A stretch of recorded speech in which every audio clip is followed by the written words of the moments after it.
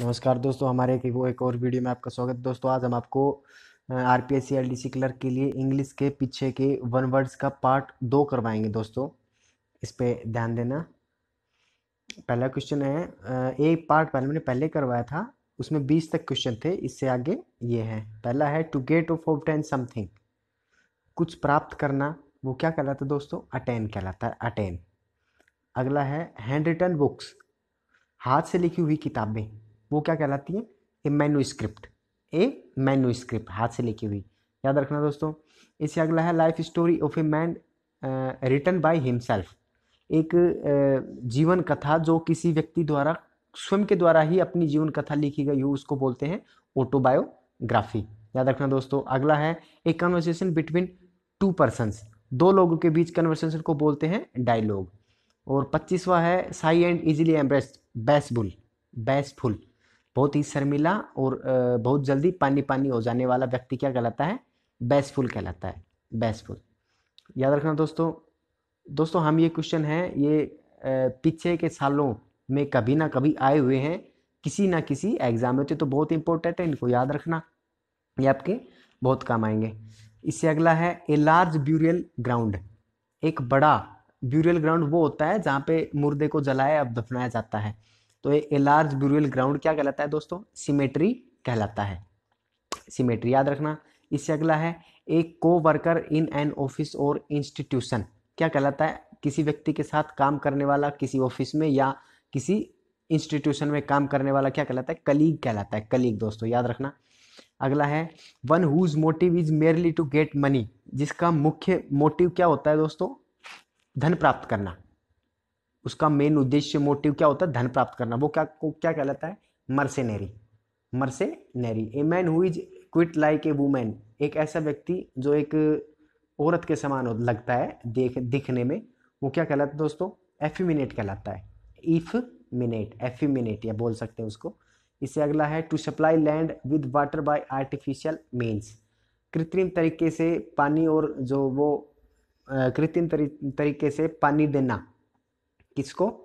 धरती को। वो इरीगेट सिंचाई जिसको बोलते हैं, वो कहलाता है दोस्तों।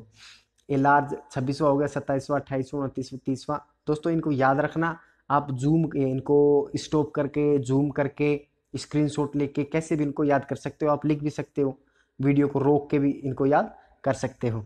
इससे अगला है a secret message written in code एक गुप्त मैसेज या संदेश जो किसी कोड के रूप में लिखा हुआ होता है। क्या कहलाता है दोस्तों? Cryptogram cryptogram. दोस्तों L D C R P S C L D C clerk के मैं मैं पूरा सिलेबस करवाऊँगा और इनसे बाहर कुछ नहीं जाएगा, बस आप इनको याद रखना। बत्तीसवा है, walk in a slow relaxed way. एक बहुत ही धीरे और रिलैक्स मोशन में या वे में चलना। क्या कहलाता है दोस्तों? सोल्टर कहलाता है सोल्टर अगला है, one who copies from other writers. एक राइटर होता है, वो दूसरे राइटर्स की कॉपी करता है, उसको प्लेगियरिस्ट कहते हैं। बड़े बड़े जो राइटर होते हैं, इनकी जो कृतियों की जो चोरी हो जाती है, वो प्लेगियरिस्ट, वो चोर कहलाता है वो। प्लेजियरिस्ट जो बोलते हैं, इसको आप लिख के याद कर लेना। इससे अगला है एक्सेसिव सिमिलरिटी और रिसेंबल्स विद एनीथिंग और एनीवन एक बहुत ही तीव्रता के साथ, समानता किसी व्यक्ति या किसी चीज़ के साथ क्या कहलाती है? एफिनिटी कहलाती है दोस्तों। एफिनिटी याद रखना, ये एमटीएस में आया हुआ है। पीछे जो एग्ज़ाम हुए R P S C L D C clerk उनमें से भी कुछ क्वेश्चन उठाए गए हैं। इससे अगला है टू स्कोल्ड और रिब्यूक समबॉडी किसी व्यक्ति को डांटना या रिब्यूक करना क्या कहलाता है दोस्तों? चीड कहलाता है। चीड C H I D E लिख लिख के याद कर लेना आप। बीस मैंने कल करवाए थे, बीस ये हो जाएँगे आज। और और भी पार्ट इसके आएँगे, याद रखना। A hater of women, misogynist. A hater of women मतलब एक ऐसा व्यक्ति जिसको लड़कियाँ पसंद ना हो, जो लड़कियों से नफरत करता है, वो मिसोजनिस्ट कहलाता है दोस्तों।